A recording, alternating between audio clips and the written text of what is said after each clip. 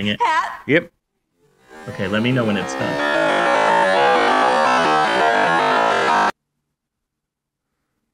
It's done. Yay!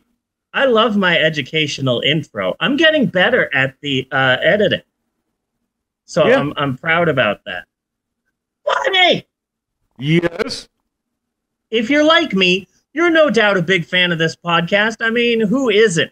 This is the number one podcast in America. It's of course the uh, you know the the the liberal left who's silencing us. Yeah. Uh, as a podcast, we have to say that once a week. We're we're we're liberal trash, as uh, someone on uh, Apple Podcast called us. Um. So, but only the real fans, the true fans who have been with us since day one, would know the the two main facts about the both of us. Two undeniably really real and in no way made up on the spot facts about the both of us, America's hottest podcasting couple, Bunny and Maylin. First and foremost, Bunny, is the fact that when you're not doing a, the podcast, you are a celebrated collector. Now tell us, Bunny, what is it that you collect and why is it so important to you? I collect. Well, this had started when when I I was a New Yorker, you know, and you would you would go down into the Subway, you know, and you had the the big iron kind of gate around it. I don't know exactly what you would call it. Big fucking heavy iron thing around the subway entrance, and you would frequently find old gum stuck under under those railings. So that is what I've become a collector of. I have I have been collecting used dried gum from various places and I am using the gum to extract DNA to fill out the human genome project. Nice, nice. What? He's It's got, important he's got work. the biggest used gum collection this side of the Mississippi. Oh, that was. It's it's pretty impressive. It, it, it No, it was how are you? yes. How are you cataloging it, Bunny? Natasha wants to know specifics. how uh, well basically when i find a good specimen of used gum okay i just reuse rechew it and spit it in a petri dish Doesn't that that's my process No, you you don't get the science, honey. You don't get the science. Bunny's a professional. Oh. Yeah, yeah. Bunny's a professional. And the second fact, which is about me, is that I'm a lover of history. I love it, but I'm also a storyteller. So this is the part of the podcast where we discuss a story from history, maybe one that people don't really know, and I get to reword it a little bit via my own unique storytelling razzmatazz. So that is what this is another educationally uneducational installment of Historic Approximations, or as we like to call it. Give me some dramatic music, Bunny. dun dun dun, dun, dun. And to be clear, that's spelled capital H, capital A, but small p. The small p is key. It's crucial crucial to the entire ebb and flow of the podcast. And also, it doesn't matter how small the segment is, but how well we use it. Anywho, what is happening on Hap this week? Well, this week it's all about hashtag girl power. It's a very special Hap. I'm really excited for it. And because it's a special Hap, I'm going to start near the end of the story. And then we're going to go back to the beginning. okay Okay? You follow me here, Bunny? yes i do Okay. So here we go. It's the 1880s, and we're in Cambridge, Massachusetts. Massachusetts. More specifically, we are at the Harvard Observatory, and the staff of the Harvard Observatory is 100% stressed the F out. Oh, so much work. It's 1880. Ah, doing so much. I'm sweating. Ooh, this is so difficult. They're working on developing a method to photograph the spectra of multiple stars at once, which has never been done before. And also, I like the word spectra. It sounds like you're a kid. First off, I think of porn, spectra vision, Yeah. that stuff they had in the in the hotels and motels, Holiday Inn, and uh, but also when I think of spectra, with finger quotes, I'm using finger quotes for those of you who are listening to this podcast and not watching it. Um, when I think And, of spectra, and why and, and, like and why aren't you watching? Why aren't you watching? Lazy why Sunday afternoon. What else is going on? You know, you hang with us for a little while. You get in Natasha the says chat. maybe you're blind. You know, what's that? Maybe they're blind. Don't be ableist, bunny. No, that's even if you're blind. I speak in braille, so it's perfectly okay. Don't be ableist. Be canist. That's a biblical joke. So Spectra reminds me of okay, you're in the eight, you're the eight, you're in the eighties, and you're a kid, and you want a video game system. I want a Nintendo, or a Sega Master System, or or even a ColecoVision at this point, and your parents are like, "Hey, it's okay. Look, we got you this, and it's a Golga Frincham Industries Spectra 5000. And it's like, okay, it doesn't have Pac Man, it has Nibble Guy, you know? Yeah. It doesn't have Space Invaders, it's Alien Intruders. Oh And no, there. it- Yeah, there were you know? all sorts of things back like that back in the day. Yeah, yeah, Yeah. So Spectra sounds to me like, like, oh, your parents couldn't afford a Nintendo. It's fine. But, but Spectra to me sounds like a 60s spy show, Ooh, you know, and they and they would work for Spectra. yeah. It sounds like the yeah. good guy spies. Rex Dart, Eskimo spy. He works Yes. for Spectra. Yes, exactly. What? Was cable around in the 60s? No. No, it was not. It'd be really cool if they were. It like. It does sound like a cable network. Spectra, a cable network? Yeah. no, no, no. They could. The signs company could pretend that their cover is cable company. But if cable company was around in the '60s, then that wouldn't work. No, it wouldn't work. No, it doesn't work for plumbing. Doesn't work for plumbing, no.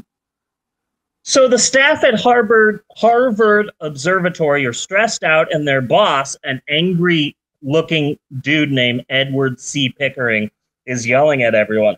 I know it beeth the 1880s, but y'all fucking pissing me the hellish offeth. You need to work harder, damn it. We're trying to do the impossible here. I need you to work hard, super hard. I mean, my Scottish friggin' maid would work better and work harder than your sorry asses, uh, forsooth. Yes. it's the 1880s. So that's near the ending. Now let's go back to the beginning. Williamina Stevens was born in Dundee, Scotland on May 15th, 1857. L. Frank Baum was born exactly one year prior. I thought I'd just add that. Also, while we're being distracted, when visiting Dundee, Scotland, be sure to visit Glamis Castle. It's huge, it's beautiful, it's some third descriptor, and according to Mr. Willie Shakespeare, it's where Macbeth killed Duncan. Yes. Also, uh, the castle is supposed to be haunted, and they do have ghost tours. Now, I don't know if they have adult ghost tours after 10 p.m. where you can drink whatever the hell you want and you can say whatever the hell you want. But if you do go to Glamis Castle and you're taking an adult uh, ghost tour, don't just start saying jizz okay. and uh, huge cum shot because you'll probably get kicked out. That's another I think you should leave reference. That's the second I think you should leave reference of this episode. Um, uh, and also I thought her name, nay, I assumed her name was Williamina, but no, it's Williamina, Okay. Like a female William. It's not Wilhelmina, it's Williamina. There's an N Interesting, in the but middle somehow, there. William. somehow that makes more Hmm. sense. it, it, yeah, I thought it was Wilhelmina, but no, it's Williamina, as in William. Oh shit, it's a girl. I guess it can be Williamina. Yeah, and then And so, and then as time passes, we start pronouncing thing more things more and more sloppily, and then Wilhelmina. maybe you might think, well, maybe her father's name is no. Her father's name was fucking Robert. I looked it up, Yeah, so it's William mean William Ina. yeah. Honestly, I think that alone is half worthy, but we haven't even gotten to the meat and potatoes yet of William Ina's story. So, uh, William Ina Stevens, born in 1857, she's very smart. She's so smart that at the age of 14, she becomes a teacher's assistant. She becomes knowledgeable in just every category. She knows math, she knows science, she knows astronomy, she knows all of these things. At the age of 20, like you do, she married a local widower, and together they had one child, a son named Wilhelmino. Just kidding, his name was Ed. Okay. His name was Edward, not Wilhelmino. But her name is William Ina. It's weird. Yeah. Uh, so they're married. This this guy, James the widower, and William Ina.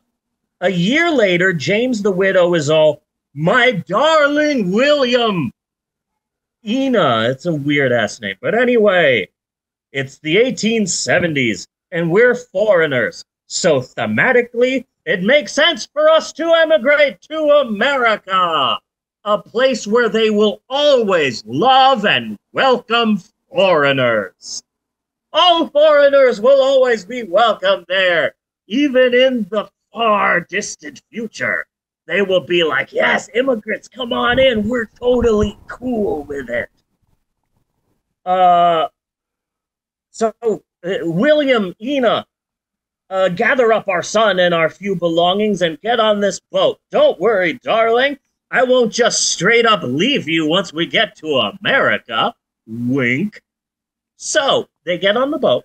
All right. The, the drugs are the drugs are ki- kicking in. I'm still kind of stuck on Wilhelmina, and we just got the fucking warning. Yeah, 10 minute warning. Yeah. William Ina, William. not Wilhelmina. Ina. It's Williamina. There's an M in there. It's weird. But now, now Williamina. I'm wondering. I'm wondering if, like, the first person who was ever named that, if their father wasn't like a real Andrew Tate type, who was Yeah. like, "I am so masculine. Of course, I will have a male child. I only need to choose one name, I was thinking that. Yeah. I was thinking that. That's all I can think of. I mean, it is like Scotland in the 1880s. I don't think Yeah. there was that much uh, feminism. Yeah, and, and and then it turns out to be a girl because there was no sonogram or anything like that, you know. Yeah. And he just storms out of the room and leaves, and they just tack a Mina on the end. Yeah. I'm pretty sure that's what it was. So, uh, so the husband is like, "Hey, get on the boat. We're going to America. I'm not going to leave you when we get there." They emigrate to Boston, Massachusetts, but you wouldn't believe what the husband does once they get there. A He goat. just uh, he just up and leaves. Can you believe that? Yeah. So the hubby leaves the family, and Williamina is like, damn, I need to get me a job, any job, like with a quickness.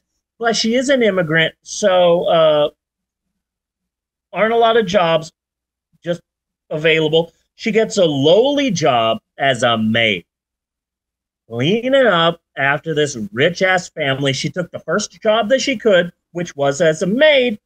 Um, she just so happens to get a job being a maid at the home of Professor Edward Charles Pickering, the director of the Harvard College Observatory. See where this is going, Bunny? Okay. So Edward's wife Liz notices a few things, goes to her husband, hu- hubby Edward, and goes, "Um, hey, honey, can you come here? I want to have a talk with you for a second. Our new maid, our new maid is smart." And then I don't know, he's reading the paper. Oh, gee, that's nice, dear. No, Edward, she's like way fucking smart like way beyond just being a maid. She's she's teaching our kids reading and writing and math and astronomy. Apparently, she used to be a teacher's assistant. She is a smart ass woman, honey. Like way beyond just being some immigrant maid that we hired off the street. She is smart as hell. yeah. She's way beyond just being a maid. She's more than that. And so that was on Edward C. Pickering's mind when, rewind, the staff at Harvard Observatory are super stressed out. Edward Pickering is yelling at him, I know it beeth the 1880s, but y'all fucking pissing me the hell off. Come on, we're working here. You need to work hard. You need to work harder than you are working now, damn it. My Scottish maid would work better and work harder. And so, Professor Pickering did just that. He's just like, my maid would work harder than. Fuck it, what do I got to lose? William, Williamina. Weird ass name. Come here, Williamina. So he hired his maid, William Ena, to conduct part time administrative work at Harvard Observatory in the 1880s. Uh, and she did great. She did so great that two years later, they formally invited her to join the Harvard College Observatory as a full fledged astronomer. They taught her what she needed to know that she didn't know already, and she became this immigrant. She became a founding member of a legendarily famous team of astronomers that were known as the Harvard Computers. William Ena, hate the name, she single handedly developed, and I quote, a common designation system for stars and cataloged uh, more than 10,000 stars, 59 gaseous nebulae, over 310 variable stars, 10 nova, and other astrological phenomenons. And also, Bunny, do you know the Horsehead Nebula? I uh, not personally. Well, a poor Scottish female immigrant discovered that. Yeah. Isn't that great? Uh, hashtag girl boss. Hashtag girl boss. Good for William Ena. She uh was uh just a Scottish immigrant whose husband left her and became a super famous astronomer. She was a maid. She went from Yeah. cleaning up children's shit to discovering the Horsehead Nebula. I gotta say, every single solitary hap that I have done, and just like me, this used to be called SHAP, Steve's Historic Approximations, Yeah. but it the the podcast segment transitioned into hap. All the haps and shaps I've done, each one could be a fairly decent movie. I can see this movie about Williamina. Yeah. Yeah, yeah, like Hidden Figures. Hidden Figures. That was a great movie. I loved Hidden Figures. It, it is really good. But uh, I know I say this usually at the end of every uh, historic approximations, but I'm going to say it again. I'm shocked that more people don't know this story. I'm surprised No, that more I- people oh, don't know this story. This is awesome. I, haven't heard the full story like that, but I've heard that story previously. Yeah, it's a great story. It's like a great, as a meme, it's a feel good story. like as a meme. Like I didn't read a fucking article or something. There was some meme. I, I'll hire my maid, and did, and she became this. You know. Yeah, she became super famous. Good for her. Yeah, Uh, yeah, that is that is pretty awesome. That is, Yay. I would put that right next to the Hedy Lamarr story. Yes, You know, Eddie Lamar. you know, because So, because that was that was it, it, like if you if you found out that Pamela Anderson had discovered quantum particles. Pamela Anderson. Oh, Stripperella. Gotcha. Right. I mean, that's kind. I mean, that's not. Hedy Lamarr was Barbed a hot woman. Yeah. She she was you know model beautiful Yeah. and did such amazing, just like a fucking genius, like just off the scale genius she was. I, I, I, I like that they gave Talia Shire more to do in the third Rocky. yeah. It- this is the least she has to do, but she has that monologue where she snaps Rocky out of it. yeah. I- I don't know if she. Anyway, uh, We'll get that into is that. it. That's it for historical approximations this week. Be sure and join us next week for more educationally uneducational fun with historic approximations. And cut on that.